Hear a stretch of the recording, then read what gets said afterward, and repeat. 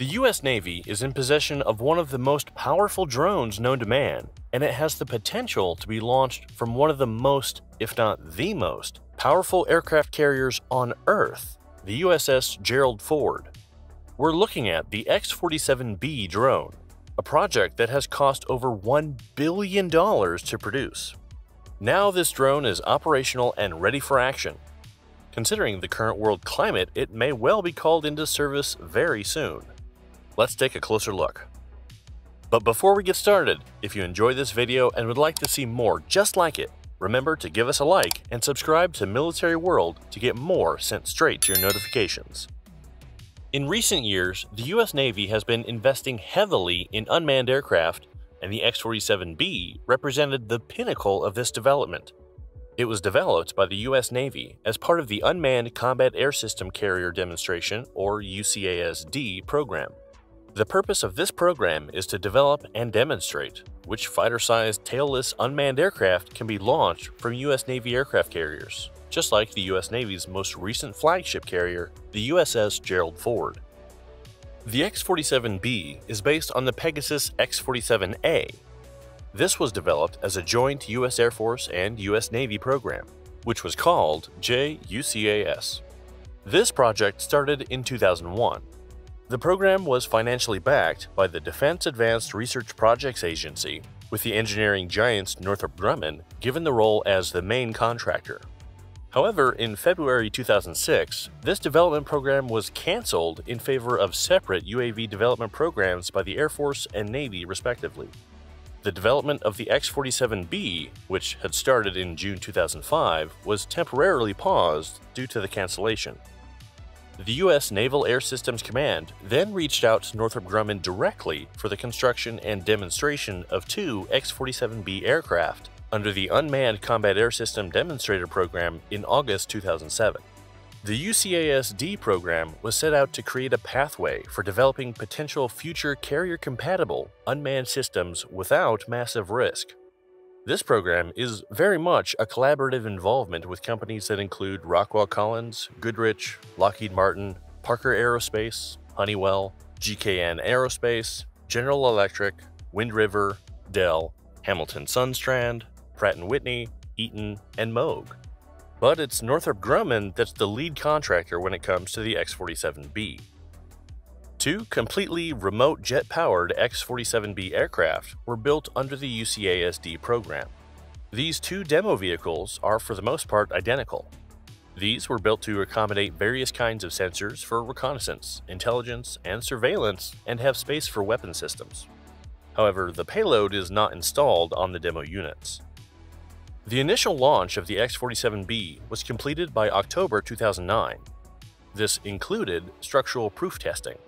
The first vehicle was dubbed Air Vehicle 1, or AV-1. This was transferred to Edwards Air Force Base for flight testing in the summer of 2010.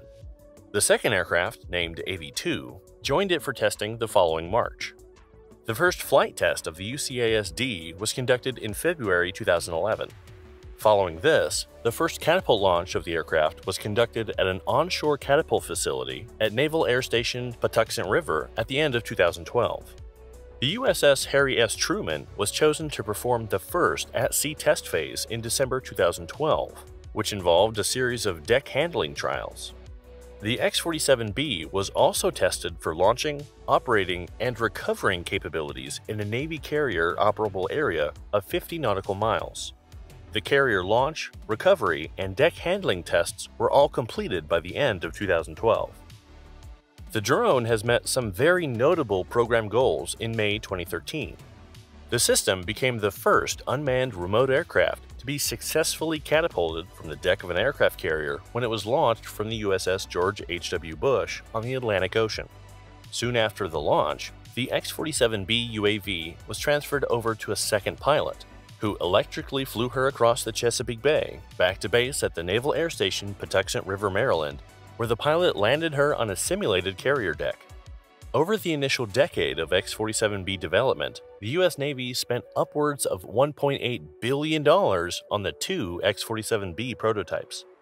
The X-47B was integrated into the US Navy carrier's operations alongside manned aircraft in the summer of 2014. The aircraft's primary test program was then completed in May of the following year. Further to this, the strike fighter-sized unmanned aircraft successfully completed its maiden autonomous aerial refueling demonstration with an Omega Air KC-707 tanker in April 2015. The aircraft is a tailless and unmanned aircraft for stealth and to avoid loss of life. The X-47B measures over 38 feet long with a wingspan of over 62 feet the shape of the aircraft has been specifically designed to avoid radar or low observable relevant requirements.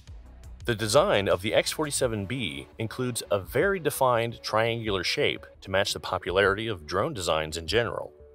There are no obvious vertical surfaces present on the aircraft, making it a true flying wing design, in the same way as the Northrop Grumman B-2 stealth bomber. The power plant, which we'll review later, is buried within the fuselage and aspirated via a shallow duct along the forward fuselage spine. The engine exhausts its waste through a specially designed port at the rear of the airframe. As there's no pilot, more internal volume can be used for specialized mission equipment, armament, fuel stores, avionics, and subsystems.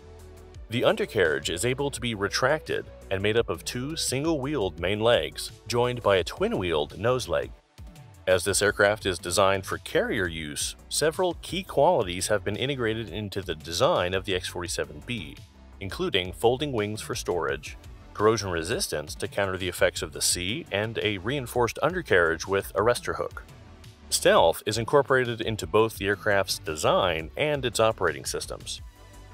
The operations of the computer-controlled X-47B UCAS are smart, and its flight control system is completely autonomous. The navigation of the system is controlled by a hybrid global positioning system and vision-based system. The flight path is pre-programmed before launch, and then its operations are monitored by a mission operator who oversees the flight. The UCAS is equipped with a variety of sensors to help with its flight, which include electro-optics, infrared, synthetic aperture radar, inverse SAR, ground moving target indicator, electronic support measures, and maritime moving target indicator sensors. The UCASD features both probe and drogues of the U.S. Navy and boom receptacle mechanisms of the U.S. Air Force to allow autonomous air refueling. The X-47B has thrust provided by a Pratt & Whitney F100 PW220U engine and exhaust system.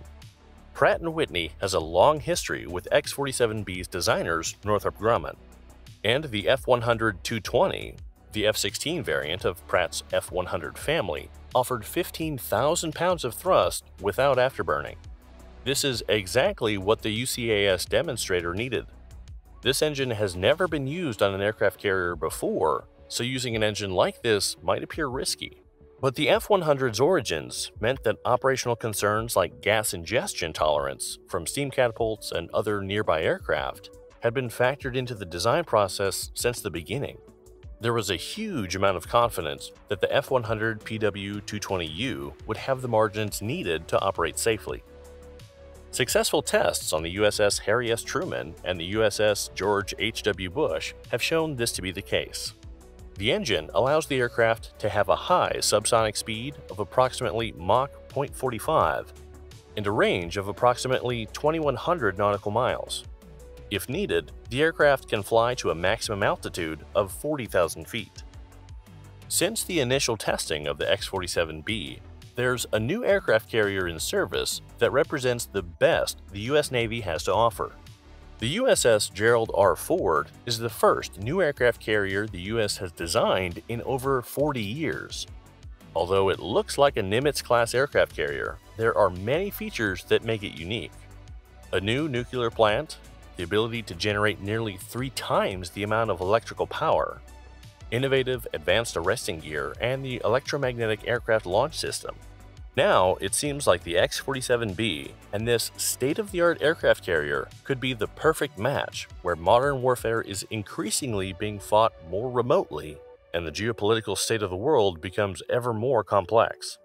No doubt this new drone will be ready for action when the time comes. What are your thoughts on the X-47B? Let us know in the comments below. If you enjoyed this video, don't forget to give us a like and subscribe to Military World to get our latest videos straight to your notifications.